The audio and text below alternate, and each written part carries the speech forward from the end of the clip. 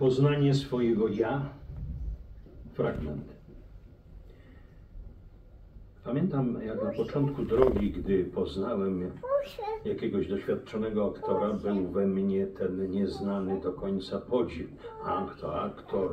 Właściwie co on takiego ma w sobie, że jestem skłonny przełknąć ślinę z wrażenia. Wtedy nie myślałem o sobie jako o zawodowym aktorze, robiłem to z pasji i z przekonania, że jest to istotne.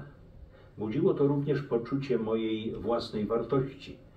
Definiowałem się przez ten wybór, zajmuję się aktorstwem, to mnie wyróżnia. Tak myślałem. Jeśli nie wiedziałem tego świadomie, to podświadomie jednak zbyt dużą wagę przywiązywałem do myślenia o sobie poprzez ten wybór. To był czas, kiedy z perspektywy doświadczenia minionych lat mogę powiedzieć, szukałem potwierdzenia tego, kim jestem. Zastanawiałem się, co o mnie myślą inni. W mojej głowie pojawiła się potrzeba potwierdzania, że jestem aktorem.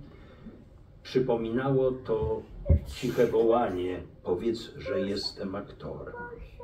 W obecnej chwili stwierdzam, że to naturalne. Wtedy jednak było dla mnie trudne oczekiwać, by ktoś potwierdził moją potrzebę, kiedy nie wie, że ona istnieje.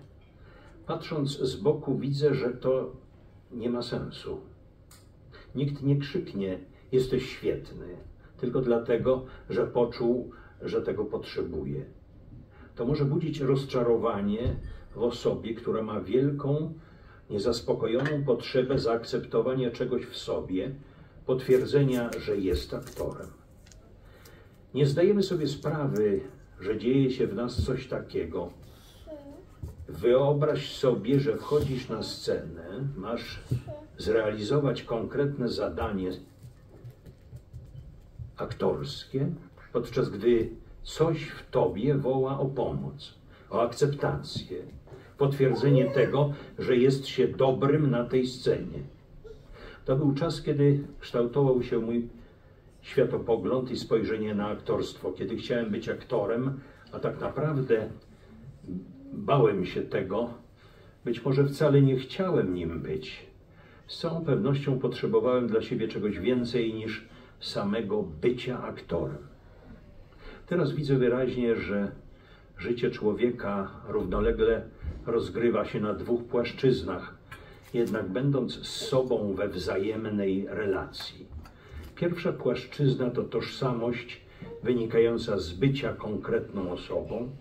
Możliwa jest poprzez miłość do siebie oraz określenie, kim mam być jako mężczyzna, kim mam być jako kobieta.